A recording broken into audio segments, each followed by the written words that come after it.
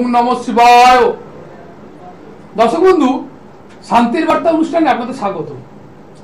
দর্শক বন্ধু, আপনারা এই যে প্রত্যেক দিন বিভিন্ন জ্যোতিষীদের কাছে যাচ্ছেন, বিভিন্ন তান্ত্রিকদের কাছে যাচ্ছেন, এর একটাই উদ্দেশ্য যে আমার কি ভালো হবে।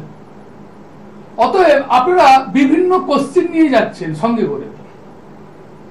কেউ চাকরির জন্য, কেউ ব্যবসার জন্য কেউ বা বিবাহিত জীবন কেমন চলবে সেই সম্বন্ধে জানবার জন্য।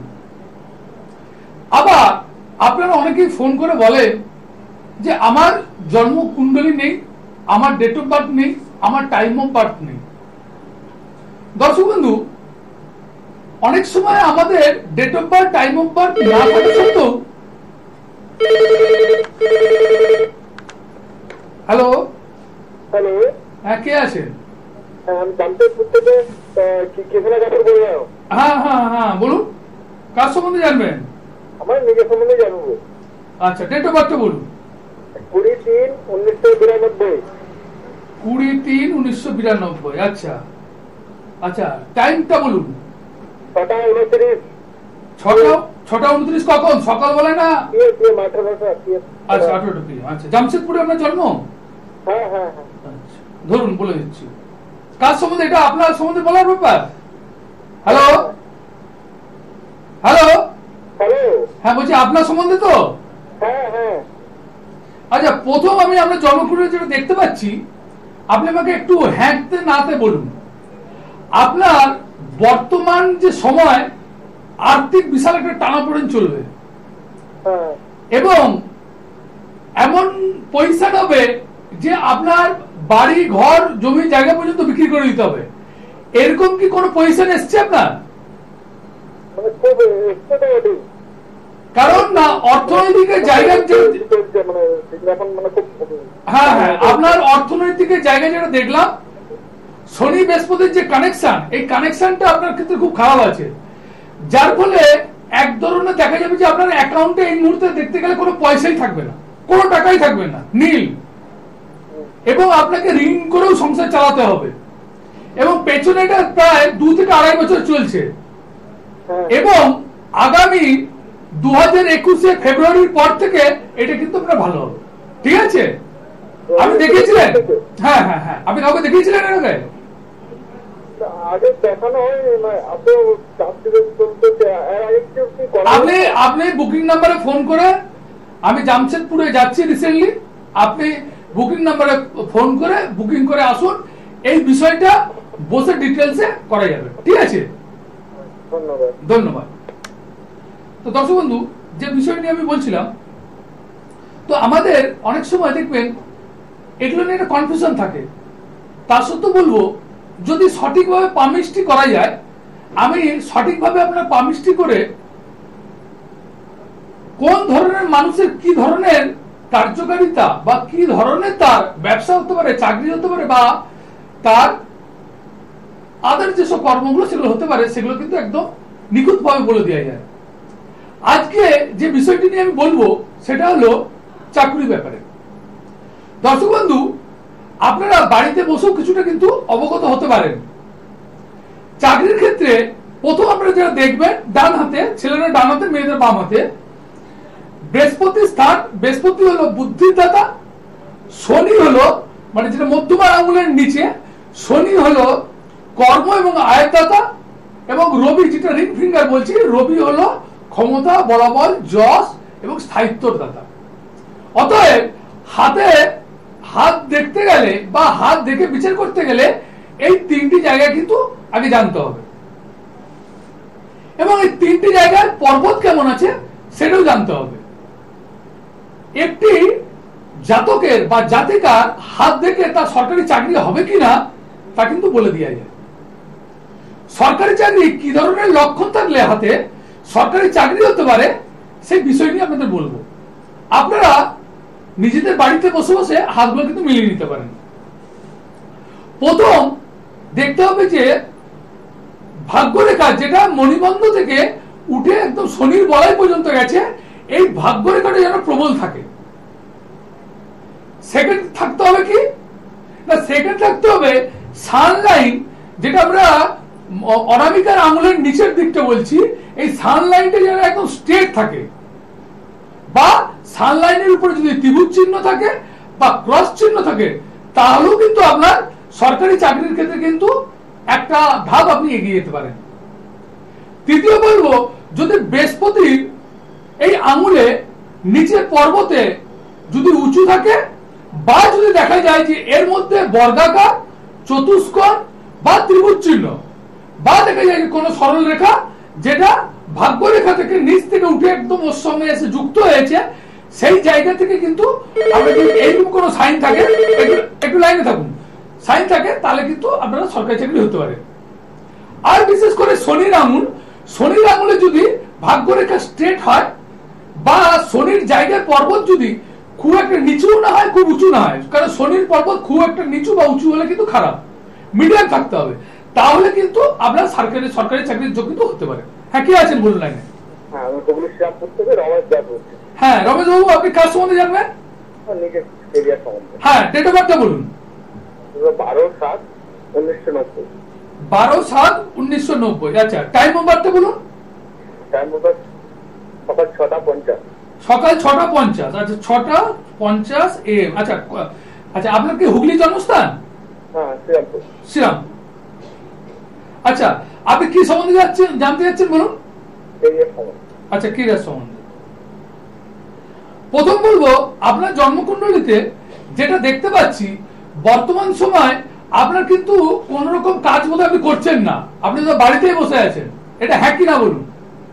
হ্যাঁ হ্যাঁ হ্যাঁ। কারণ না আপনার বর্তমান সময় যে গ্রহের দশা চলছে সেই দশা পিরিয়ড হিসাবে আপনার কিন্তু কর্মহীন করে দেবে।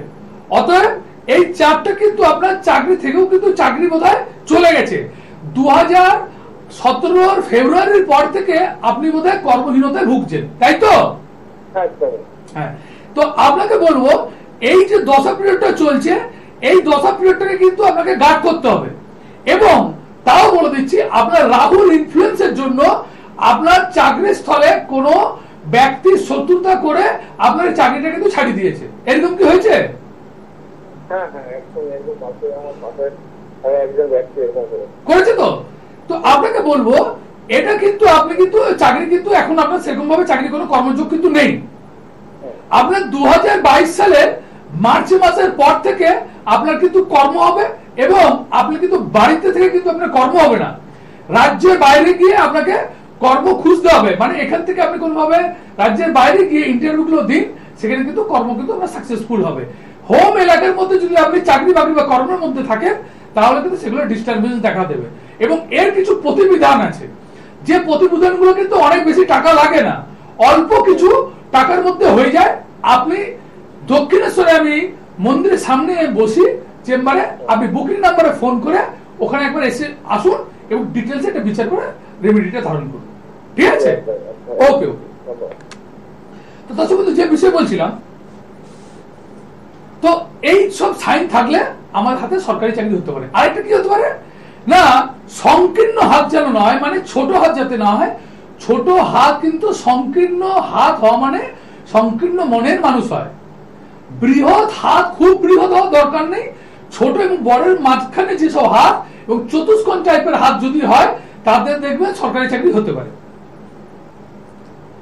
এবং যাদের দেখবেন হাতের এই মাঝখানে গর্ত, এটা আপনি কিন্তু জল দিয়েও দেখতে পারেন। জল যদি দিয়ে দেয়, এক ফোঁটা জল দেয়, জলটা যদি কোনোভাবে না গড়িয়ে পড়ে, জলটা যদি স্থিত থাকে, তাহলে ভাববেন আপনার জীবনে কিন্তু অর্থ স্থিতি হতে পারে বা অর্থ, বৈভব, এগুলো কিন্তু আপনার জীবনে আসবে। এবং আপনার লক্ষ্মী মায়ের কৃপা কিন্তু আপনার বর্ধিত থাকবে। সেকেন্ড বলব, যখন আপনি দেখবেন এই রেখাগুলো, এইভাবে আছে, কিন্তু আপনি জানতে পারছেন না যে কোন বয়সে কি আমার চাকরি হবে।